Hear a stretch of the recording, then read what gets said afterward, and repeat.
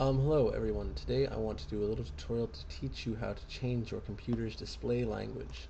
That is everything, including all these panels, everything. Uh, first, go to Control Panel, Clock, Language, and Region, and then click on Region and Language.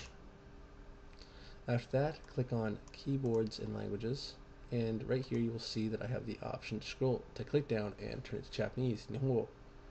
Um, for you, you won't have anything besides English or whatever your native language uh, is. So you want to click install slash uninstall languages and install display languages.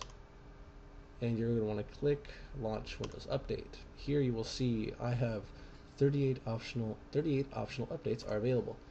Uh, you'll see everything here: Norwegian, Polish, Portuguese, Russian, everything.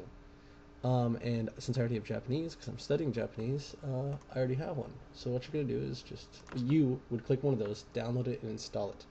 Uh, for me, or for you, after it's installed, click down, click here, click apply, and it's going to want you to log off. Um, I've already done this, so I'm just going to cut it right here and put the other video right after this. Alright. And we're back. This is the computer in Japanese. Everything's here. Game, computer, uh, control panel, control panel.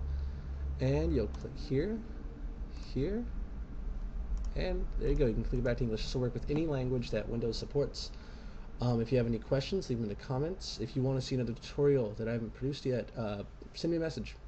I'm going to be doing a lot more tutorials dealing with just basic Windows and things like that. So, um, yeah, if you like this, sub, like it. Um, and if you're Japanese and I butchered the language, uh, 고민나사요. 다시 와, 니혼고가 스코시와 바카리마스. See you guys later. 자.